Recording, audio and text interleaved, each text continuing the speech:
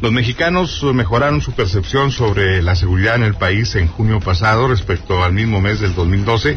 Al menos así lo reveló el Instituto Nacional de Estadística y Geografía. El índice de percepción sobre la seguridad pública mejoró en todos sus componentes y subió un 5.6% de puntos porcentuales en junio al situarse en 107 puntos por encima de los 104.4 de hace un año.